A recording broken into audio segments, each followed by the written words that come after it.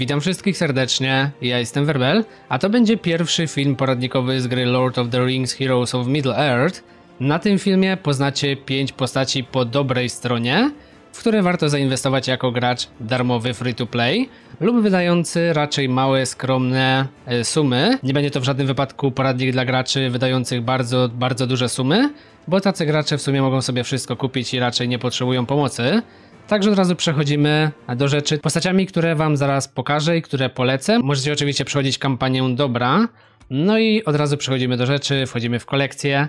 Pierwszą postacią wartą polecenia i w którą warto już inwestować na samym początku gry jest Strider, czyli Aragorn.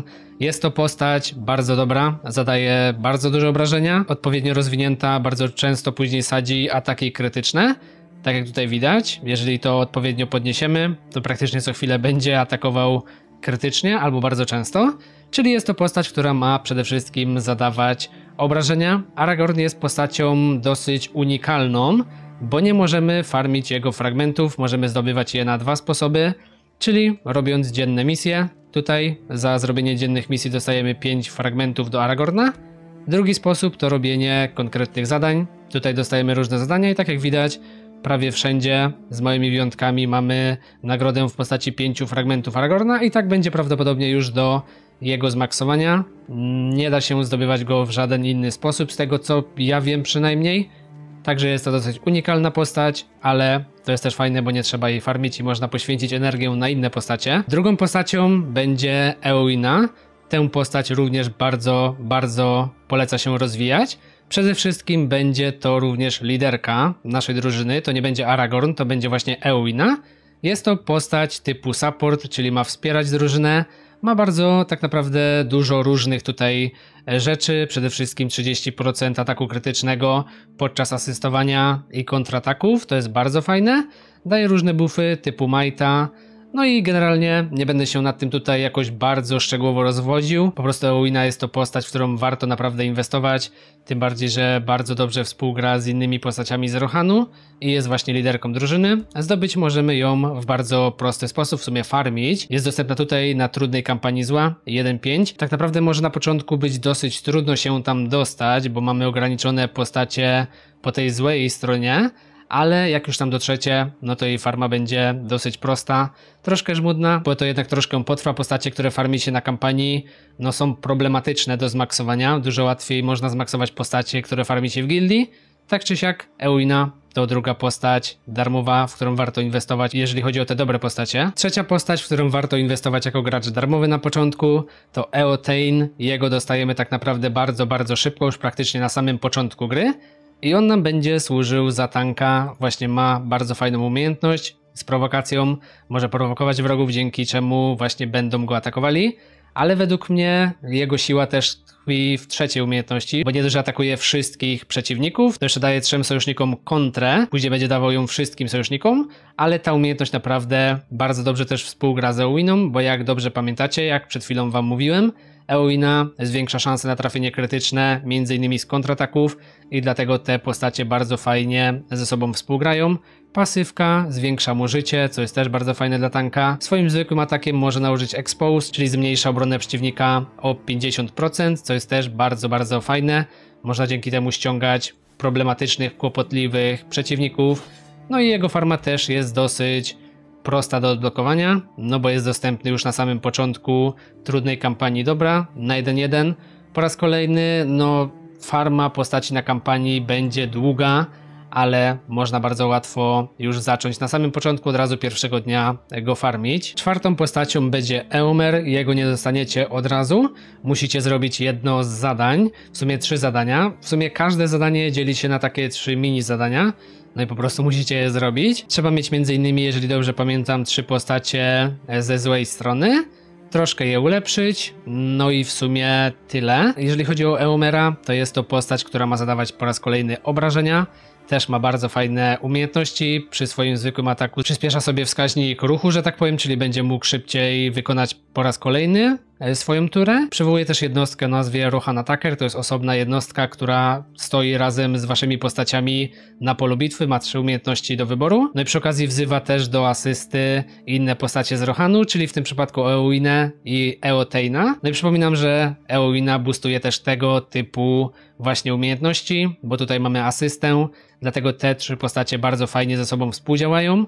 Tutaj m.in. Eotein atakuje trzykrotnie i dosyć duże obrażenia e, zadaje. Jeżeli chodzi o pasywkę, to na początku swojej tury leczy siebie oraz Eowynę, a przy okazji ma pewną szansę na zdobycie jednego staku asysty. Asysta działa w ten sposób, że przy zwykłym ataku innej postaci sojuszniczej po prostu Eomer zaatakuje razem z nią. No i przypominam, że Eowina to boostuje.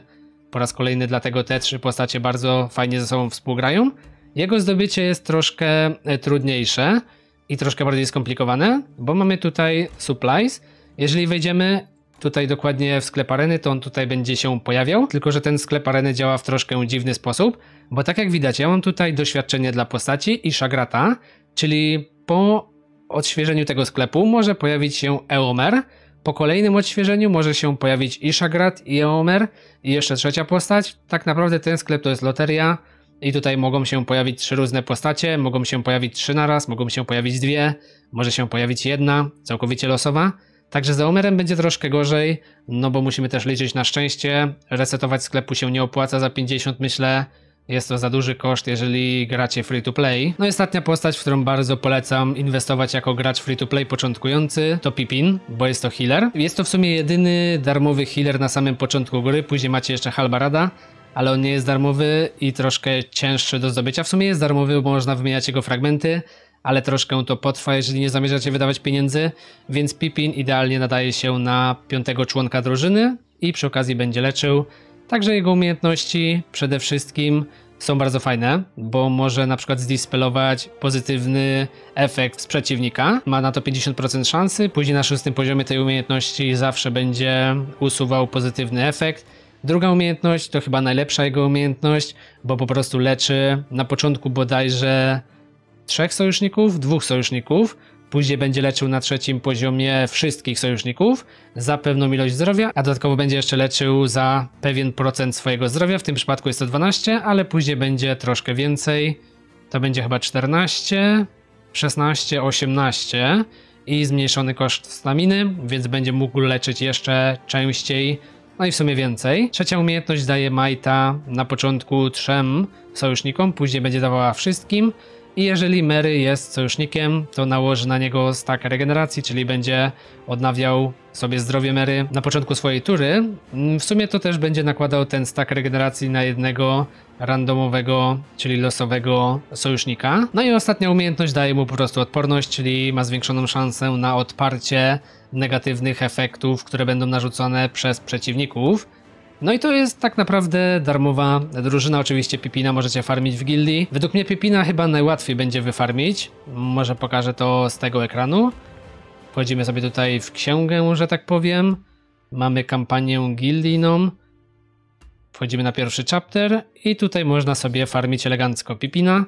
I to jest o tyle lepsze niż farmienie postaci na kampanii, że tutaj nie mamy żadnego limitu, możemy nawet farmić ten jeden konkretny odcinek 1, 5, 100 razy, 200 razy, 1000 razy, jeżeli będziecie sobie odświeżali energię, więc wyfarmić Pipina można tak na dobrą sprawę już od razu pierwszego dnia, 45 fragmentów potrzebujecie, ale na początku będziecie dostawali na pocztę dosyć sporo energii gildijnej, można też sobie odświeżyć raz czy dwa, żeby tego Pipina szybciej wyfarmić i po prostu mieć healera, Także według mnie Pipina chyba najłatwiej się farmi, oprócz Aragorna, bo Aragorna dostajemy oczywiście za zadania oraz misje codzienne.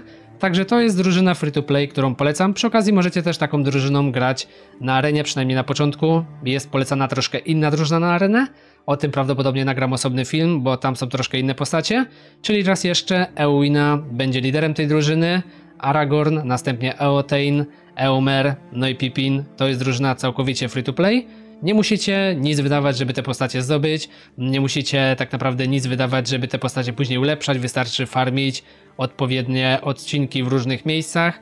Niektóre będą bardziej problematyczne, właśnie kampania, niektóre mniej, jak na przykład Pippin czy Aragorn, ich będzie na pewno dużo łatwiej wyfarmić. No i jeżeli będziecie mieli szczęście, to Eomera też dosyć szybko podniesiecie na wyższą ilość gwiazdek. To by było na tyle. Wiem, że film troszkę chaotyczny, ale dopiero zaczynam z poradnikami z tej gry. Na pewno nagram jeszcze troszkę więcej poradników, na pewno coś o złej stronie, tylko tutaj potrzebuję jeszcze troszkę czasu, bo sam nie mam jeszcze pięciu postaci, ale coś na pewno wymyślimy. Też drużyna na arenę się na pewno pojawi.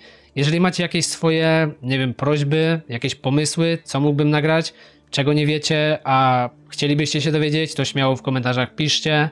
Według mnie warto dać szansę tej grze, nie patrzeć na grafikę. Tutaj mamy już zapowiedziane rajdy między innymi. Właśnie tak jak wspominałem na poprzednim filmie, trzeci kwartał tego roku. Ja wam życzę oczywiście powodzenia w grze. Raz jeszcze zapraszam do gildii Kermoren. No i do zobaczenia w kolejnych moich filmach.